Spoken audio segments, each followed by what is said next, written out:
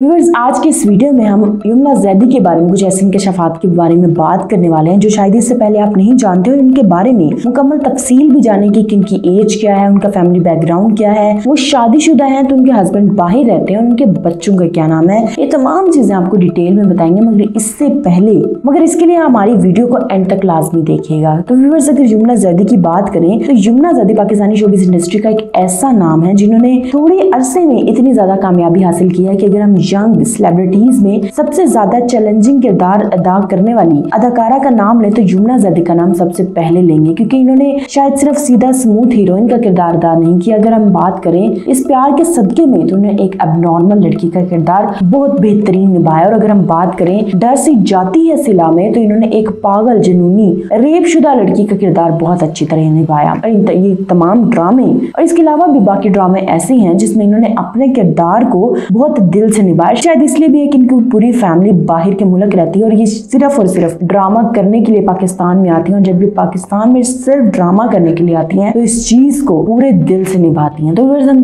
बात करते हैं उनकी एज के बारे में तो यमुना जैदी की एज एक सोर्स के मुताबिक वैलिड सोर्स के मुताबिक इकतीस साल है, यानी कि वो तीस जुलाई उन्नीस में पैदा हुई। और शायद ये बहुत ज़्यादा शॉकिंग है कि उनको देखने से उनकी एज इकतीस साल नहीं लगती, वो अपनी एज से बहुत छोटी लगती है। यमुना जैदी की अगर एजुकेशन एजुकेशन की बात करें तो उन्होंने मास्टर्स किया है home economics college of Lahore से। और जैसे उन्होंने मास्टर किया, उसके फ़ौरन बाद उनकी पूरी फैमिली बाहर के मुल्क, जिनके टेक्सास एक मुल्क है, उसमें शिफ्ट हो गई। अगर यमुना जदी की फैमिली की बात की जाए तो यमुना जदी की दो बड़ी बहन है और एक बड़ा भाई है। उनके अबू का नाम जिम्मेदार जैदी है और रिसेंटली उनके 2019 में रमज़ान में डेथ हुई है, एकदम से अचानक हार्ट अटैक से। और अगर उनकी माँ की बात की जाए तो यमुना जैदी की मदर का नाम शबाना जैदी है, जो की बहुत ही रिलीजियस टाइप की वुमेन है और बहुत अगर यमुना जैदी की हस्बैंड की बात की जाए तो यमुना जैदी अब तक शादी नहीं की और अभी शायद उन्होंने शादी करने के बारे में सोचा भी नहीं है और इनके अलावा उनका कहना है कि वो अरेंज मैरिज ज़रूर करेंगे, लेकिन एक ऐसे इंसान से करेंगी जिसके अंदर दो क्वालिटीज होंगी, यानी कि कंट्रोलिंग पर्सनैलिटी होगी डोमिनेटिंग कंट्रोलिंग और डोमिनेटिंग पर्सनैलिटी होगी। उनके पॉइंट ऑफ़ व्यू के मुताबिक एक बहुत ही बेहतरीन खूबियाँ हैं। तो ये थी यमुना जैदी के बारे में कुछ इन्फॉर्मेशन जो कि शायद इससे पहले आप लोगों को नहीं पता होगी आपको यमुना जैदी कैसे लगती है कमेंट सेक्शन में अपनी राय का इजहार ज़रूर कीजिएगा। अपना ढेर सारा ख्याल रखिएगा। अल्लाह हाफिज।